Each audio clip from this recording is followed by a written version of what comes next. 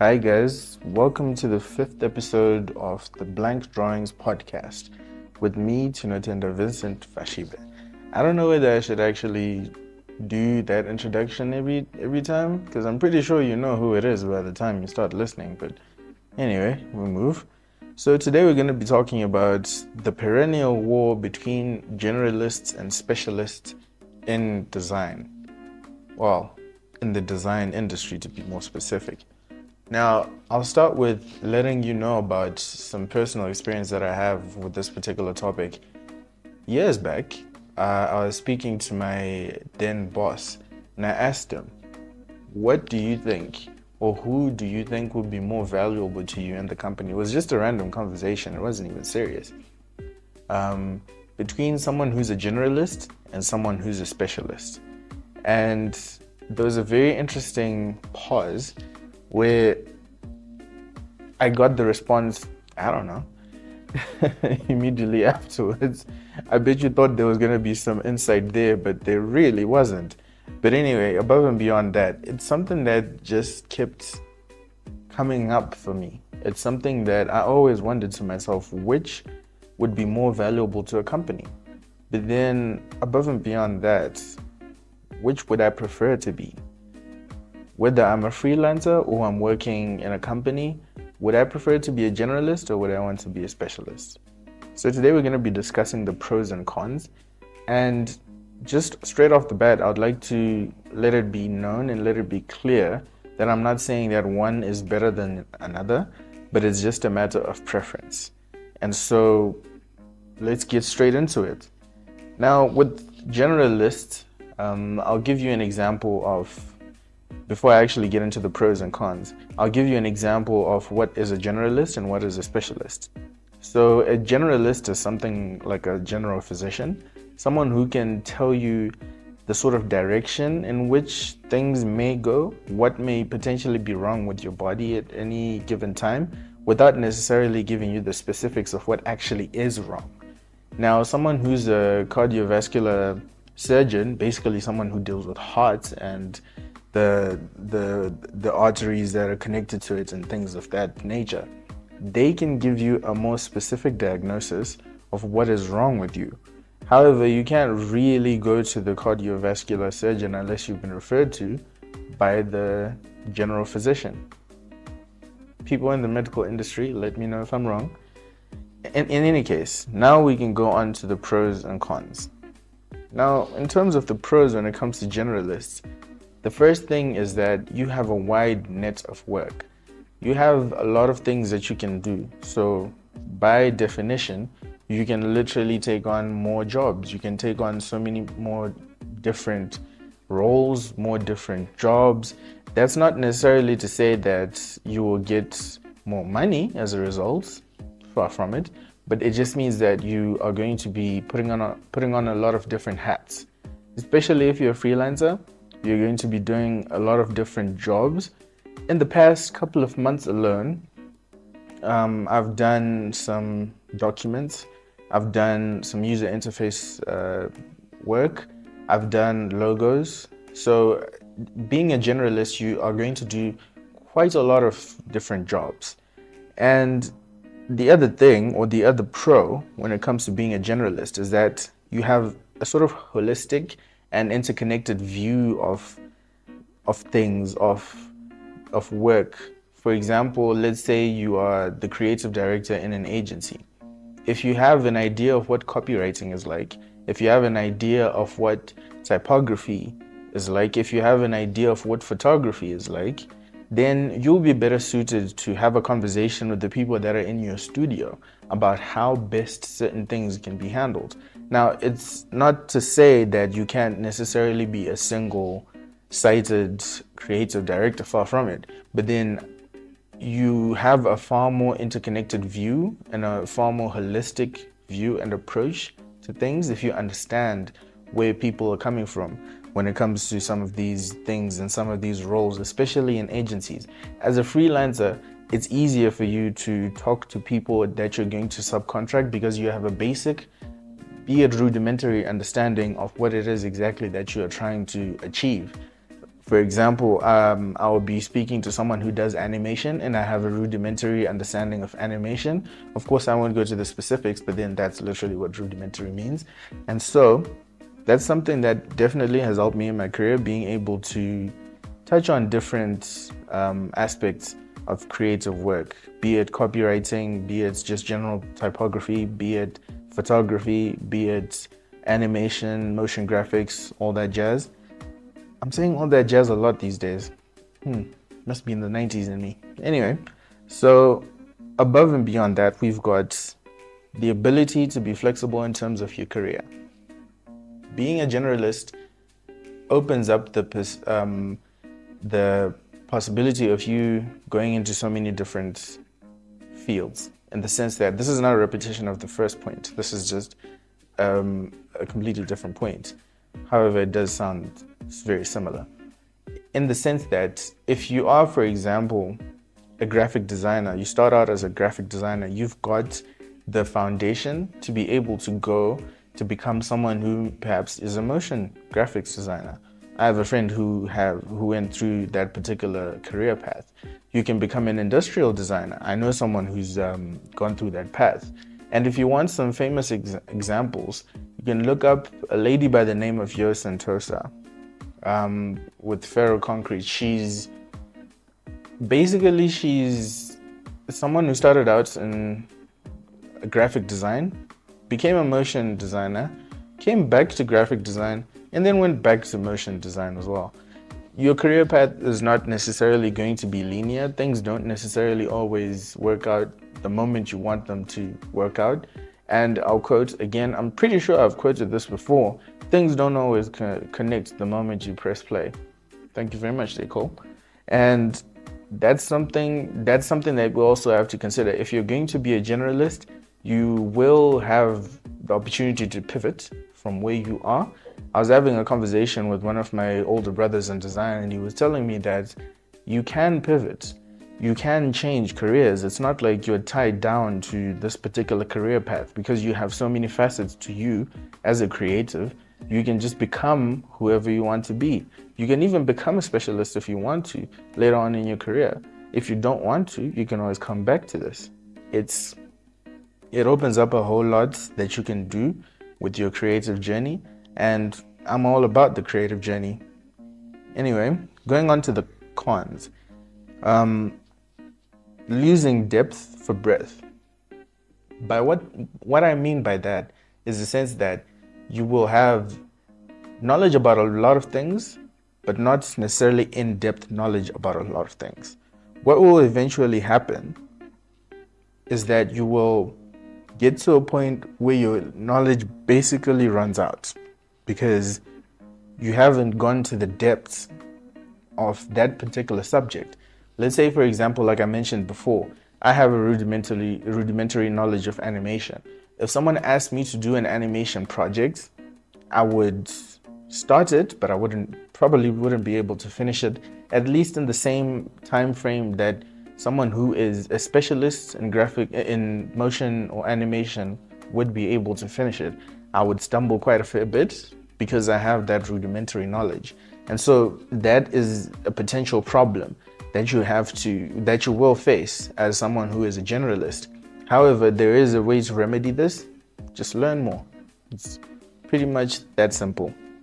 And then the other con, this is a bit morbid, but it is definitely a con. Um, people will consider you a bit more easier to replace because there are a lot of generalists.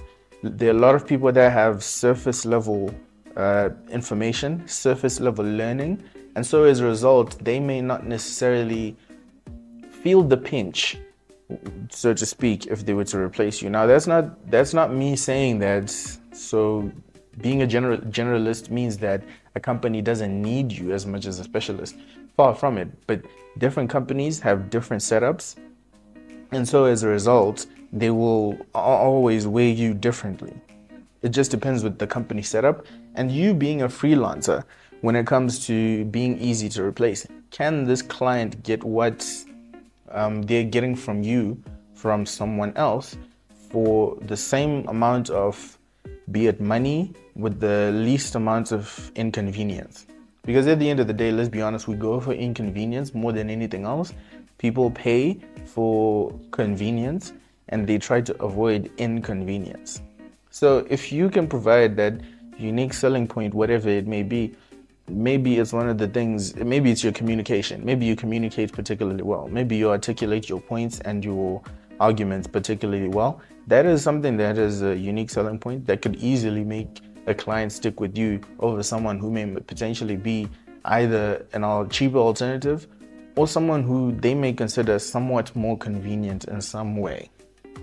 Anyway, going on to the last of the cons, at least in my list, being having loosely defined roles. Uh, the fa- the fact that you wear so many hats, you essentially could become a jack of all trades. You can become someone who does a lot, and so as, as a result, we can't really put you in a box. Uh, some organizations want specific boxes, especially the larger organizations. They want specific boxes that can be filled by specific people. So, if you are a generalist, for example, it's really difficult to define what it exactly it is that you do um, because you do so much. Now, that's easily something that can um, bite you, especially when it comes to earning, in the sense that when you're starting off, you essentially are going to be put in the box that they think you fit in.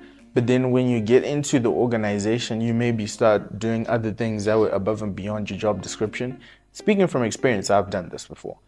And it's it's not always something that um, you can mitigate in terms of perhaps negotiating out of the contract, or not necessarily out of the contract, but negotiating more from the contract.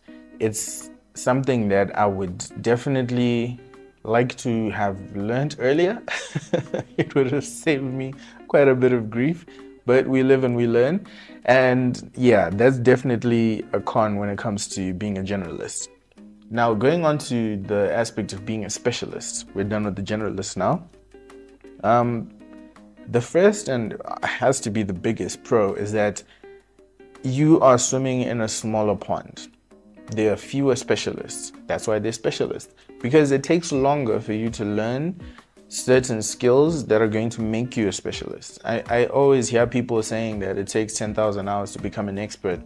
I don't subscribe to that um, necessarily because you can have those 10,000 hours and still not be an expert you can have those 10,000 hours and nothing really registered as much as it probably should have, you know? Um, but anyway, that's, I digress. Having to be in a smaller pond means that you have more opportunities in your um, field if you're a specialist. You get um, more jobs that are tailor made to what you do. So it's easier to actually get a job be it as a freelancer, be it as someone who's in a company. Yeah. And then this one's gonna sound like repetition, but again, it's not. It's easier to be a big fish in a small pond. So, if you were to put, for example, a car in a swimming pool, it's gonna look huge. But if you were, by the same token, going to throw a rock into a pool it's just gonna make a small splash. It's not really gonna be, it's not, it's gonna be barely noticeable depending on the size of the rock. Let's say that a rock the size of your fist. Of course, you'll see the splash, but it's not going to be anywhere near the size of a car or the size of a boulder, for example. So it's easier for you to be a, actually, let me give a better example of that. If you put a shark in the average, in the average swimming pool, it's gonna take up a lot more space than if you were to put your average sized salmon or mackerel. Basically, it's it's it's that principle. And it's going to be easier to notice the big shark that's in the pool than it is to notice that salmon in there. So that is basically as good as an, an, an explanation or an example as I can possibly give in that when it comes to that point.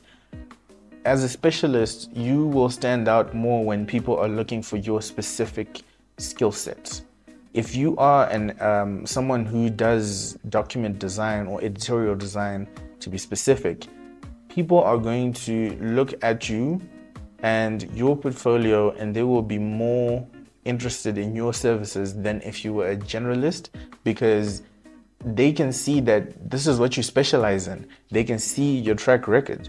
And so, as a result, even when it comes to commanding fees, you can command a lot more if you specialize in that particular field. Yet again, I'm not trying to say that there's one that is better than another, each to their own, and you have to choose which one works best for you. And then the last point when it comes to the pros of being a specialist is it's easy it's easier for clients to trust you. If you go to I use I'm gonna use the health the health um, sector a lot in this particular episode in that it's easier for clients to trust you if you have if you have chest pains for example and you go to a cardiovascular surgeon you will trust what they say about how you're feeling over what the general physician said. Because this is their field. This is their specific problem. Now if you for example went to a general physician and you said that you're having shoulder pains for example you're having um, what feels like a tense shoulder. And then they give you a, a diagnosis that is general, and then it solves the problem, then everybody's happy. But if the generalist, if the general physician gives you uh, a diagnosis and then uh, prescribes certain medicines for you and they don't work, you are going to more likely going, going to go to a, gen, a, spe- a specialist next time. Specifically because the generalist, in as much as they gave you something that was um, supposed to heal you, supposed to make you feel better, the fact that it didn't will make you go to someone who's a bit more of a specialist more. Yeah. Anyway, now going on to the cons. You are sought after as a specialist for a very specific thing. So, by the same token, the fact that you're sought after for a specific thing means that you are also going to be looking for specific clients. You can only fit in a specific box, meaning that the majority of jobs that may, that may be in the industry don't necessarily fit you directly. You will be looking for jobs that have a very narrow, or not very narrow, just a narrow job description because you have a specific set of skills in comparison to a broad set of skills. It goes back now to um, the con for the generalist, which is losing depth over breadth. This is the exact opposite. You're losing breadth for depth. You now have a deep understanding of your field. Let's say it's um, something like logo design You've got a very deep understanding of logo design and brand identity design, visual identity. You can do the brand strategy. You can um, do the brand manuals. You can manage a brand properly, especially when it comes to how it how it comes across visually. But what if, for example, there is a job that needs you to do that, the brand identity jobs, but it also requires for you to do editorial design. And you can't do editorial design. However, there's a generalist who can do brand identity to a degree and they can also do editorial design to a degree. Granted that the generalist is going to have a lot more people that he's competing with because more people have surface surface level knowledge, that does not necessarily mean that they'll still go for the person who's the specialist over the person who's the generalist. Now companies are different, like I said, clients are different, they will that's the reason why it's okay for you to either be a generalist or a specialist because there's enough of the market for everybody to go around. Anyway the other con when it comes to being a specialist is a bit of career inflexibility. If you have been learning deeply about something and you become an expert on something to the exclusion of everything else if let's say for example that particular field gets taken over by oh i don't know artificial intelligence it's going to be difficult for you to pivot onto another onto another um, career because you have been so deep in something for so long. That's i'm not saying it's impossible far from it but it's harder for someone who has been a specialist to pivot back into something or to pivot in general into something that they've never done before in comparison to someone who's just been touching lightly on certain topics. That is that is probably the biggest con of being a specialist in my opinion. But yeah, um, that's basically what the pros and cons of being a generalist are, at least in my research. If you'd like to read more, uh, I'll leave the link in the description and take a look at innovationmanagement.se. They've got some real gems when it comes to being a generalist or or being a specialist. Now, this is a topic that is specific to to creators, to designers mostly. However, I believe it's something that can be apply, applied across the board. It's something that you can just apply even in life. really, there I go with my life coach um, shtick again. Anyway, um, some of the things that you should consider when it comes to choosing whether you should be a generalist or a specialist is the market size. If you're going to be a graphic designer, how many other people are graphic designers in the world? You have to think about that. You have to think about the profitability of that particular field. How many people are graphic designers and how many people are um, are motion graphic gurus and which is more profitable for me? And then the other thing is the long-term prospects in the sense that when you're 50 years old, will you still be able to be working in this particular in this particular market? Will you able to be teaching this particular subject and will it still matter then? Obviously we can't we can't predict the future obviously not. But there are certain things there's certain indicators there's certain trends you have to look at. For example in design you have just have to look at ai instead of fighting ai i feel like we should be adopting it to to, to make our lives easier as designers. Because being as being a designer is um, yeah it's it can be daunting but much like any career, it can be quite daunting, and you need things to make life easier for you. And I, I believe if we can adopt more of this technology to our own advantage, it's something that will help us in the long and short term. So that's something to consider as well. And then the intersection between your skills and your desires is something that is very important because I'll, I'll give you an example with um, myself. I already mentioned it in past episodes that I really wanted to have a situation that I where I create timeless designs, where many years, decades, hopefully centuries from now, they can look back on my work and say, okay, he was really good at what he did see what my what my grandkids are going to be thinking about the work that I did and things like that, whether they like it or not, is you know, it's inconsequential at this point. But it's my contribution to the world. It's my contribution to um, to the artistic movement. I know a lot of people say that um, design, graphic design specifically, cannot be art because art cannot have a function outside of itself that is true, but there is an, there's a very interesting uh, word that one of my mentors once said, and he said functional art. And that by itself is a bit of an oxymoron because, like I said before, art cannot be functional. But we do make works of art every now and again, don't we, as creators? And so if you if you love making art and there is a demand for it, um, and you're, you, you're good at it, you enjoy doing it, and there's a demand for it, then by all means go for it. I have a friend of mine who's very good with his with his pen. He draws the, the most beautiful portraits with his pen, and every time I see the stuff that he creates, I'm like, dude, how did you find this out? Like, how did you discover that you're this good at this? Because he's he's incredible for for those of you that want to um, look him look him up, his name is Derwin Graphics. Um, I'll add his name in the in the description below. Just check, check check it out and just let me know.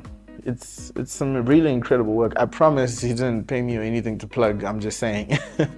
um, I'm just saying on this point, the intersection between your skills, your desires, and the demand for those sp- specific skills that you have that is what is supposed to inform your decision whether you want to be a generalist or you be a specialist. You don't have to be a generalist. Um, you don't have to touch on everything. You can niche down and be on a specific um, a specific part of the market that will become um, something that you specialize in. But you can also start out by learning the ropes in in everything. I already mentioned before. I started out in photography and then got into graphic design, got into um, a bit of animation and motion, and then got into um, user interface design and then branding. So there's a whole lot of things that you can touch on. You are not under any pressure to be a generalist. You're not under any pressure to be a specialist. The only pressure that you should be under is to be the best version of yourself as a creative. And so, on that nuggets, on that nuggets of odd wisdom, rare wisdom, wisdom nonetheless. That's gonna be the end of this episode. Let me know, let me know your thoughts and feelings in the comments. And it's always a pleasure hearing from you guys. Um, I've been, like I said, overwhelmed by how many people have been coming up to me and just letting me know that um, it's it's really something that's helping them. This podcast and it really um, just motivates me to keep going. And um, yeah, I'll hear from you guys next time. Take care. Yeah.